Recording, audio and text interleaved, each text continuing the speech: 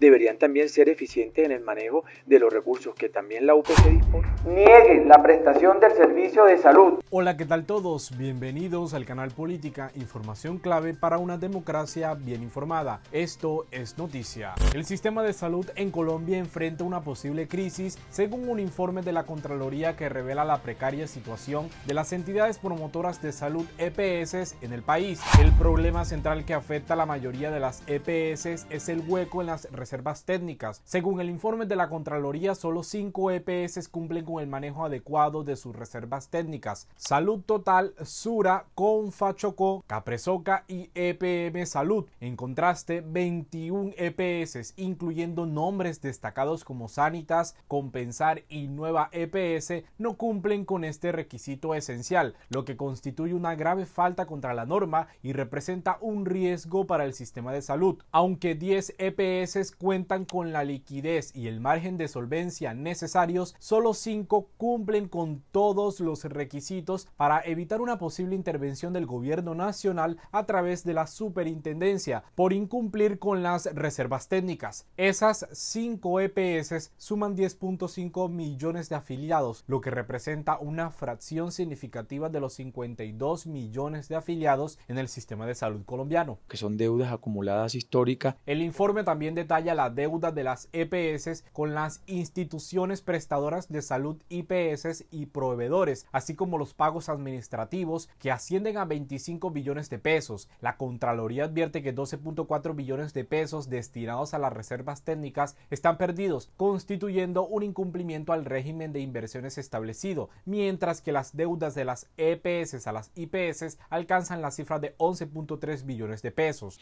Así como son eficientes en el manejo de la administración de los recursos que se le dan para ese concepto a ellas y generar utilidad, deberían también ser eficientes en el manejo de los recursos que también la UPC dispone para garantizar la prestación de los servicios que el Plan Básico de Salud tiene. A pesar de los avances en los pagos declarados y reconocidos por ADRES, las IPS continúan enfrentando una situación crítica. La Contraloría también destaca que 16 EPS tienen indicadores de liquidez y margen de solvencia insatisfactorios, incumpliendo los requisitos para operar en el país. La nueva EPS, por ejemplo, con 10 millones de afiliados y con el Estado como principal accionista, acumula deuda con las IPS y un hueco en las reservas técnicas de 5.5 billones de pesos.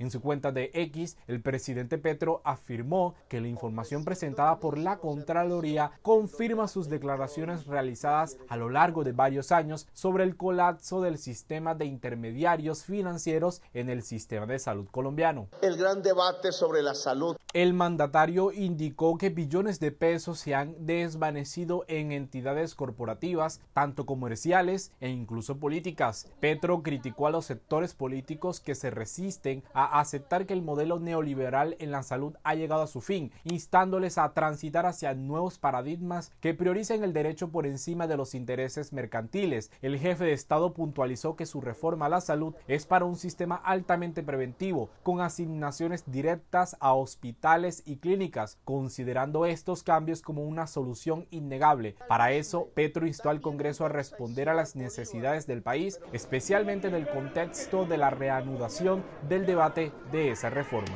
En una rueda de prensa, la Contraloría General de la República anunció resultados respecto al seguimiento realizado al sistema de salud, que indirectamente aborda las discrepancias presentadas por las entidades promotoras de salud EPS en relación con el gobierno Petro. El vicecontralor en funciones del Contralor General Carlos Mario Zuluaga afirmó que el gobierno está al día en los pagos a las EPS, instando a mantener los servicios sin interrupción mientras señaló irregularidades por parte de estas entidades. Pese a que las EPS tenían la obligación de constituir reservas técnicas por un total de 15.58 billones de pesos, la Contraloría tras revisar 15 de ellas constató que solo cuentan con 4.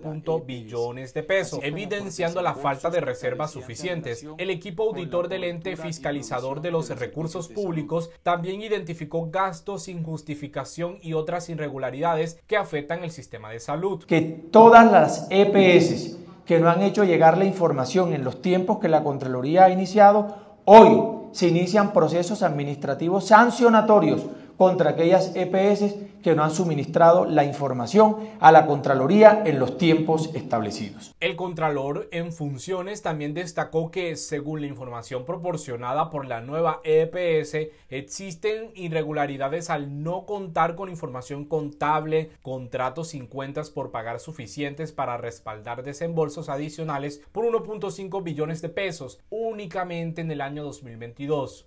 Aquí hay una situación que la Contraloría no ha podido esclarecer con la nueva EPS y con otras EPS y es por qué si la facturación registrada para un año, que en el año 2022 fue 2.3 billones de pesos, por qué la EPS giró a varias IPS o a las IPS un valor de 3.8 billones de pesos. Es decir, que la nueva EPS en sus estados del año 2022 tiene 1.5 billones de pesos sin justificar por qué lo giró, a quién lo giró y sobre la base de qué cuentas y qué soporte hizo giros por 1.5 billones de pesos sin tener el sustento. La EPS Famisanar está siendo objeto de escrutinio por haber contratado por encima de los límites legales con su propia red, superando el 14% en 2022 y el 14.5% en 2023, rebasando el tope máximo del 30% permitido por la ley para contratar con su propia red. Además, el Contralor General resaltó que la administradora de los recursos del sistema general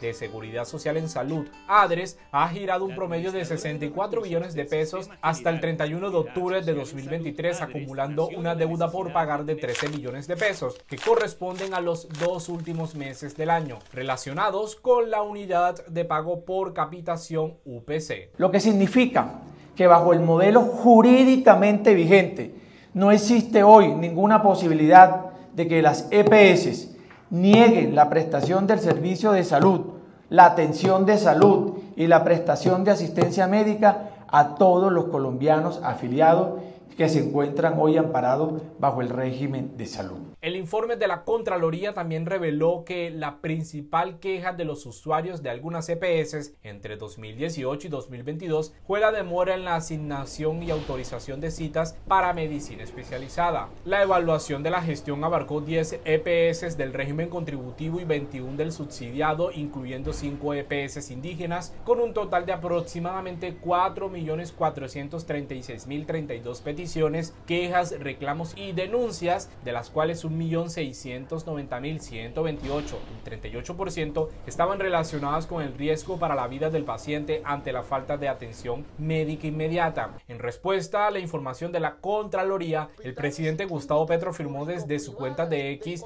que su gobierno ha cumplido con la ley en cuanto a los giros a las EPS. Asimismo, enfatizó que los problemas financieros de las EPS se deben a la utilización irregular de los recursos públicos asignados. ¿Y usted qué opina? Los leemos en los comentarios, los invitamos a suscribirse a este canal y mantener activas las notificaciones para que cada vez que subamos un informe usted sea el primero en verlo. También los invitamos a ver el informe donde detallamos cómo va la reforma a la salud en el Congreso de la República.